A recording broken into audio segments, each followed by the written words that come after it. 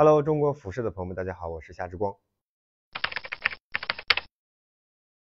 拍戏的时候跟造型师不太会商量，就是因为都是老师们，就是会为了角色，他们有自己的这个已经衡量，对。然后我基本上如果说可能不太适合我的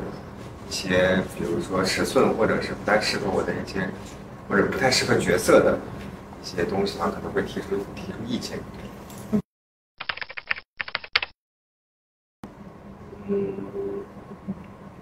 呃，一些融合元素吧，对，一些融合元素，就类似于新的国产，其实它就会把很多的一些元素融在一块儿，不只是单一的，就是什么呃包括在或者是 boss 它会把很多东西融在一块儿，包括涂鸦呀。然后我就喜欢，其实不太喜欢循规蹈矩，喜欢舒适。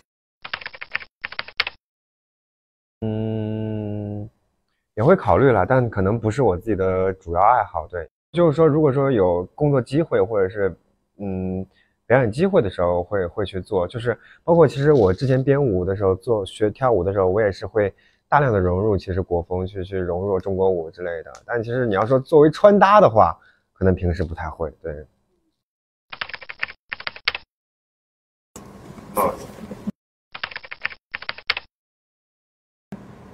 就是因为嗯，有时候头发嘛，就是男生其实做头发不做头发是两个人。平时呢，可能就是不太会自己打理头发，对，然后就感觉毛巾帽一戴，就是谁都不爱，就是那种直接就可以把头发遮住，然后感觉戴毛巾帽的时候自己长得还挺硬气的。戴什么样的衣服啊？就是看看天气吧，对，然后如果说是。就是抛抛却天气来说的话，可能出去的话就是可能会戴一些墨镜之类的，反正是怎么好看怎么来。舒适度，对，因为我觉得，嗯，要看是什么情况。如果说只是没参加工作的话，就超级时尚可以可以可以撑一撑，但平时的话，一定还是舒适度为主。对，其实。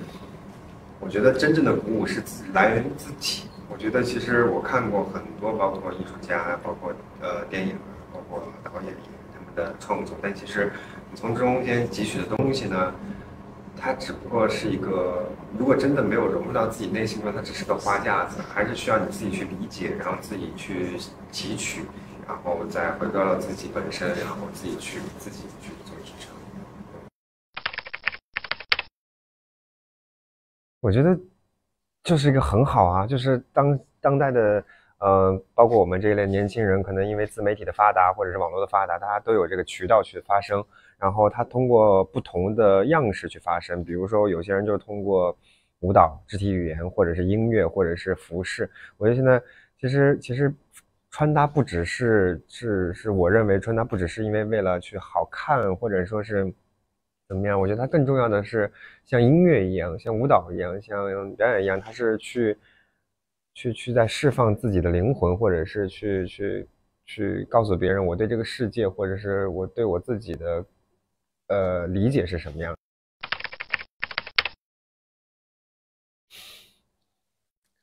跟往年一样吧，就是多多多进组，多拍戏，多赚钱。酸甜苦辣加点香菜，加油！